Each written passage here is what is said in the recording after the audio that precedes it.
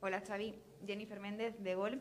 Dices que has hablado con Dembélé y que te dice que él quiere renovar y quiere continuar aquí. ¿Cuál sería el principal problema que te dice el jugador? ¿Por qué no renueva?